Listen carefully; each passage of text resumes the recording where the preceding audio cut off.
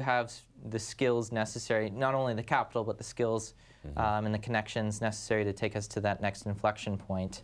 Uh, or when we get there, are you going to help us with that Series A round, Series B investment round?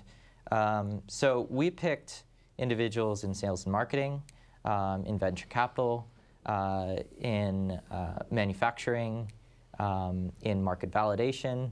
Um, the list goes on and on, and, and it's, I think we did an awesome job. We have, we have 10 oh, early investors. Here. Yeah. 10 early investors, and I, I, I wouldn't change them out for anyone else.